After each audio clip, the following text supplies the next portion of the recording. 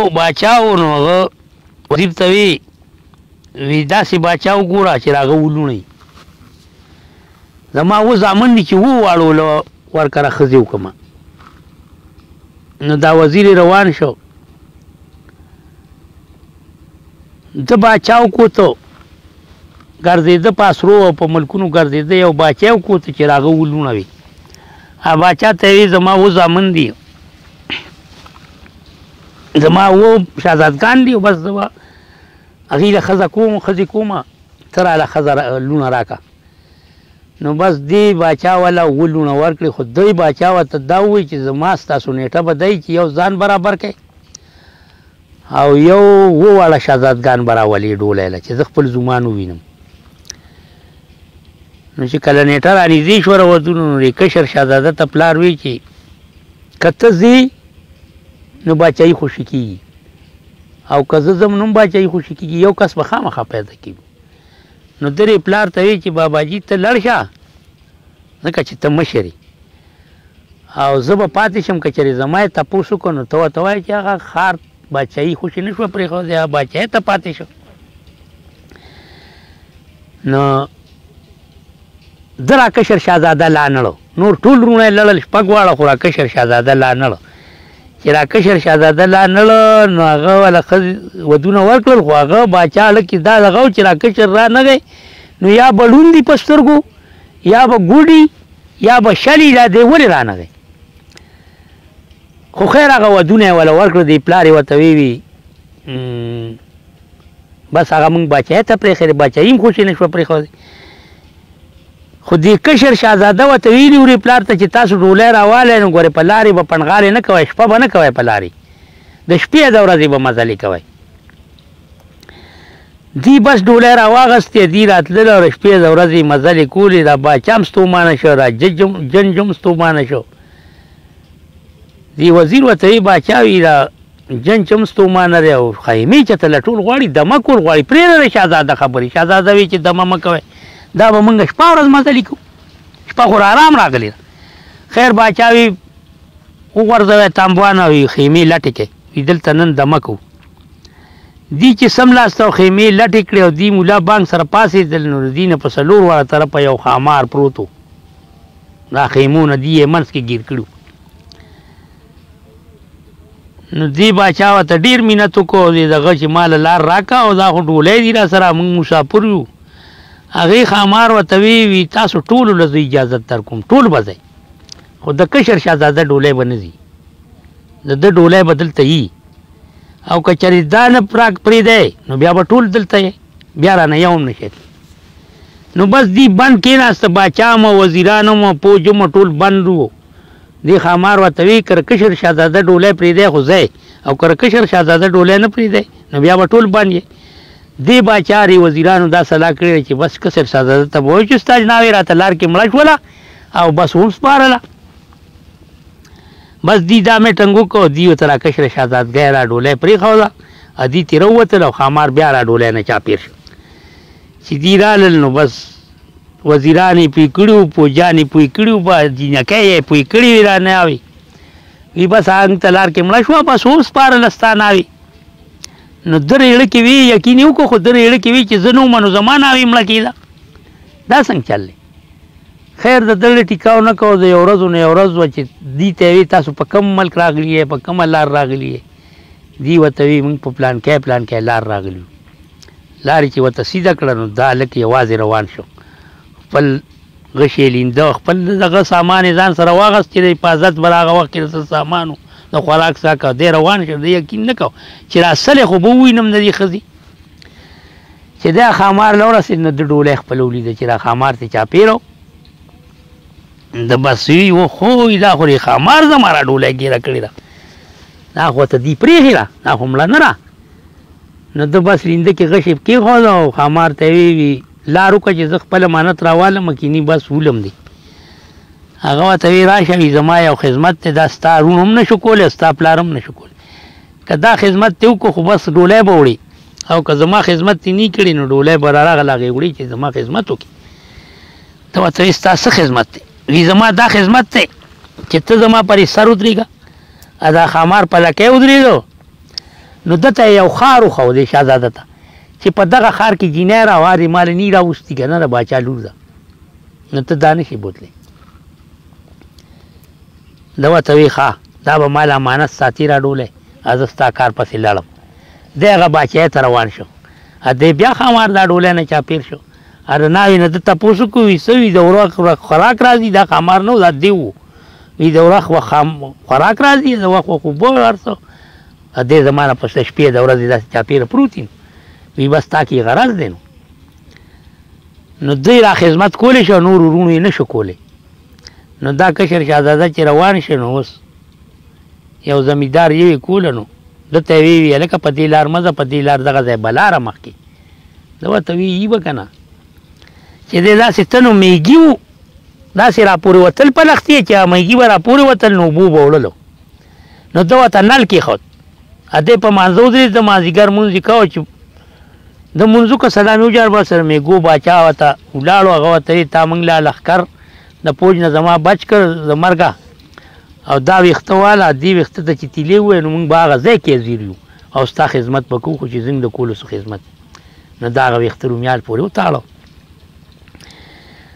د زمیدار په توی چې دغه ځای سړی خورا بلاړه که هغې له ته پټ پټ لړې او په سینه دې وله خوله کېښوده نو بیا به یې رالوات په ځای نو بیا به دې خوري نه او که نه دا کار دې ونه کړو نو وجني به دې دی بس د دی پټ پټ لړه وه بلا ناسته وه په سر یې منګه زه د ول په سینه خوله کېښوده هغې وی دا دوه زامن مې دار یا درېیم ته شوې دی شهزاده ته وي وي ته چېرته ځي ده ورته وي زما دغه باچایۍ کې کار دی وي دا رور به رسره ځي نو یو سړي خور رور یې ورسره کړ چې دا بچی ته ورسېدو نو هغه ورته ویوي بې درېغه خوراک به راته ږدم دا به سار خوري چې سار دې دا خوړلي نو ده سره خو سړي خورو رورو نو هغه ته دې ټول هغه خوراک دی نه شي خو یو مشکوبې به سېخي دا بس کی د دغه شپه تېره کړه هغه خوراک پروت دی چې سار مانځه مال شي نو دې رور ته سړي خور ته ویوي مرګ په مړه کوي دا ډوډۍ وخوره او بوس کا که وګې او زه خو څه نه شم کولی هسې به وران باچا م وژني چې ده په مانځه وویل سلام یې وجار به سړي خور اوبه هم څکلي وې ډوډۍ هم خوړلې وه یو شرط یې وله وګاټه هغه رورو یاره که مړ شوې وی نه زه خو وږی ما وی ډوډۍ ولې نشته وی نه سري کوم دي دا خو ما وخوړه وی ډیوز بیا یو شرط خو راله تا وګاټه ا سړي خور رور وله یو شرط وګاټه بیا زه ته وی چې بایی تا ته به زه یو من کاشکاش نولم هغه به زه ستا ته سار لولم مازیګر به نه تلم سل منه کاشکاش به راټولی دی ګوته لوندی کاشکاش چې ماسپخین مونځ یې کو که نه نو دا رومیال لا یاد چې په سر یې تاړو دیش کرای ټوله کړي په دواړه کسه ضرور ته سړي خور ته یې هسې به موجني خو زه را مونځ کوم چې د مونځ کوم نو رومیال او ویښته ورته را یاد شو نو چې ویښتو ته تیلې و میږي راوتل وي څه خدمت وي بس دا کاشکاش راټولول غواړي وی بس ته مونږ کوا چې د مونږ کوا نو راشه شاته تیار و می ګورا ټول کړو نو هغه من سیوا او خطا سیوا سره نه رااله خنو بچا دغه شرط مو غاټو بیا وته بچاوی په خپل لور برته په پنځه سوال ورشه که څلور سوال وي زما یو غوار ابل وشي نو دا جینه رشپې رااله دي شاده د خپل غوته ورکړه لره بچا غلور وی دا غمې چې غوا نه لیدلی کنه نو غوا له بخواله نه دی وی غوا سړی وژني او دا به وی بل بل به ملت په سلو جنکو کې ودري په دریو صفو کې نو زه به زما ستانه خبر دی چې تر روان شي چې تا ته به ما پلار وی چې د سپ نه جنې راو باسه نو چې را زما لور دی راويسته ستا خزه وي نو ته به ګوري سپونو ته وی زه به صرف تا ته داسې یو لګه اشاره کوم داسې بګوته نو ته ما سې کې چې زه تا ته اشاره کوم نو ابا زیمه نو دا دوه سوالونه وتا جینې سم کړو نو دا د وکړو اوري چې دا د وکړو نو دوی وکټلو نو جینې یې را روانه کړه چې جینې یې را روانه کړه نو سړی خورې ته سړی خور مور ته رور زوی پرې خو دو او دې را روان شو خو د خامار او د ترمنځ بل بچای و د د پاغي بچای کې چې شپراله لنو وز اوس واچا ته وی چې مالا څوکیداری راکا کور راکا ما سره خزره واده وکړه کنه هغه باچا لوري وکړه مخامار لبه بي نو دغه باچا ولا کور عمر کو دیر باچا څوکیدار شنو د داسې چلو کو چې د ترې خزي وی وی ز پیاز او ټماټر راوړه س د غره وړه نو چې دیر روان شنو درې شای او بلا مړ کړه یو بلا په باچا خوند اخیستی او باچا نه به یو یو سړی مړ کاوه نو په دغه شپه باچا پسې راغلي وه نو باچا یې وژو دې بلا نو ده بلا نه خپه پرې کړه دی خو جلات و د باچا نو بلا نه خپه پرېوته نو خپه ده خخه کړه پاڼه هم خخه کړه د سرو پاڼه وه او بلا وتښتېد نو وینه هغه ځای کې دغه شوه څاڅکي څاڅکي په فرش چې باچا سار پاسېد نو دې جلات ته یې ویل راوینه رسه شي ده ورته زه خو نه یم خبر وی ته ولې نه خبر دا وینر سره ته زما رسار جلات نه ویلی شهزاده ته وی دا خپای ولا رئیس تیرا رسروا پاڼه وی دا بلا مې نه ویله که دا پاڼه باندې خو به زما را خزو جنگ دی ما را خزي دی پاڼې لا او بلا باندې تا ته خپوالي را بل ځای بچ تمړی دا کا بل پاڼه تیر وړه دې پا پاڼې پس روان شي نه غي بلا یو لور و چې سم و هغه بلا غلور ته وی زه به تا غالک لور کوم چې کم لک زمانه را خپوالي را نار لک دی چې دې تللی دی نو هغې ورته ویلي په وینه پسې دی ته چې ته نو دې له بلا ځای ته غره ته رسېدلی دی هغه پاڼه هم ورسره وه او هغه خپه هم ورسره وه خپه یې بلا ته ارته وکړې وي دا زه باچا رالېږلی یم دې پڼۍ پسې وي پاڼه به بیا کېږي خو داسې چل وکړه چې زما رالور به بیا نو ده له بلا لور ورکړه او پڼه یې ولم ورکړه نو دی باچا له راغی نو باچا له چې ده پڼه راوړه باچا لور وه نو باچا ورته ویل تا ته ما لور کویدن کړه دوه ښځې خو یې شوې که نه درېیمه خو په مخامار سره ده نو باچا د باچا لور هم کویدن کړه خو واده یې نه کړه دی خو لا باچا سره دی نو دا ښځې ورته وایي دا که سودا راوړه بازار نه چې دی بازار ته لړ نو د غوښه واغسته وي هلکه غوښه به سره پرته وي ته دا مرچکي رالم ټماټر رالم چې مرچکو والا لړ نو مرچکو والا له هم پیسې ورکړې خو ویې لکه دا بوډی ګډ ګډوي زه د دې رنداره کوم نو یو بوډی وه په جادو به یې ګډ ګډو نو چې دی رندارې له تللی بوډی نه خلک خور شو دی ورسره یوازې ناست دی ماښام دی چې بوډی چاپېره کتلي نو په دې شاد شوب کړی دی د ده نه یې ګډ جوړ کړی دی شهزاده نه د مرچکو او د پیازو او ټماټرو نه وروستو مانډه ده نه خو پیازو والا ته دا ویلي چې دا بوډی ګډ ګډوي زه د دې رندارې له ځم خدای ورته ویلي بس دی شپه بار د ده راله د ده نه خو ګډ جوړ شو بوډا کور ته بوته او دی چې و نو دی دغه شو کور ته لا نه نو دا شهزادګۍ چې کوم په شرطونو ګټلې وه د باچا هغه لور نه ډېره هوښیاره وه هغې یې ښځې ته وی د سړي خواري هغه لور ته وی داسې چل چې چا ته بال نه وی خاوند نانه دې ښار کې روک شو او زه به پټکې ووهم زه به باچا له ځمه جلات څوکۍ له نو دی پټکی وو او د خاوند جامې واغوستې او باچا وی ګینې دا جلات دی اره ده په شان وه نو بس د جینۍ جلاتي شروع کړه ها بیا بازار باندې لړه نو غوښې والا ورته وی مړه وی ته وی ګوره پرون دې غوښه اخیستې را وی بیا پیسې دې راکړې بیا رانه وی راکوي یار زه شپه وه دوست پاتې کړی وم زه بیا راونه ګرځېدم وی تا وی چې پیاز ټماټر رالم چې ټماټرو والا ته وی یلکه دا د خاوند په شان وه. وي تا ګوره زما نه پرون نه بله ورځ وي غوښه پیاز ټماټر واغسته او پیسې دې راکړې ته بیا ټماټرو پسې را نه تا وي چې بوډۍ ګډ ګډي د بوډۍ ګډ سره اډو ګډ شوي د بوډۍ نه کته مڼ نه نو دا جینۍ پوه شوه چې دې بوډۍ کې چل دی د دې را خاوند دې ګډه او ګډې ته جوړ کړو دې ته خو پته مو لګېده چې دا بوډۍ جادوګره ده نو بس دا را باچا دغه وه دې به د شپې د دې هلک نه شهزاده جوړه و دې بوډۍ او د شورا دی به ټیکټ جوړو نو یو شپو نه یو شپو چې تا فوجیان هم ځان سره دی جلات پوت ته باچا ته وی چې مال زه غش کوم د ملک مال یو سلور سپان ناګه اوله سلور سپان ورکړه دې کلی غش کوم چې سوکرانه ونکي بس دا چې ونه دا بوډه کړل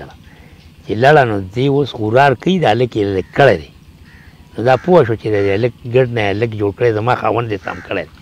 وی شا وایي دا سور چا سره خبرې کوي د باچا سر چې داسې متل مې دی سپېرکی راله راوړه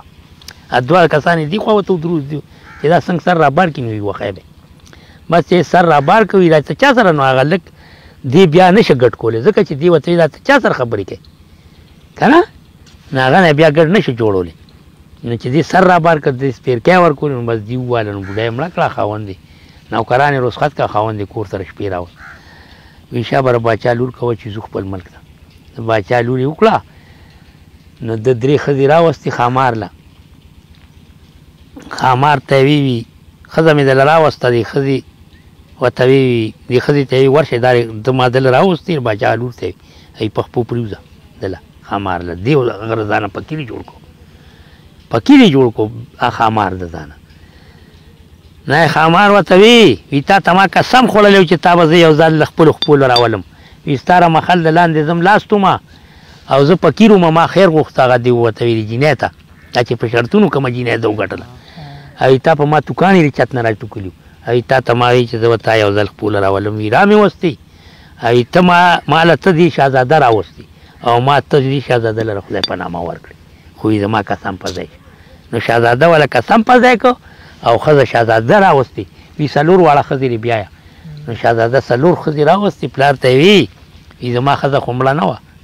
خو تاسو را ملنګ کار نشو کولی رخا مار او ما ولو کو نو سلور خزې راوستي انور ورونو یو یو وکړم دا کیسه و یاره او بس کار خدای قدر وکړي